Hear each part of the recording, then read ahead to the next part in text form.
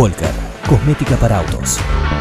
Vamos a hablar del clima, lo que está anunciando el Servicio Meteorológico Nacional para las próximas horas. Ustedes ya están viendo en pantalla lo que se anuncia para el día de mañana. 8 grados la mínima, máxima de 22 grados, despejado durante toda la jornada.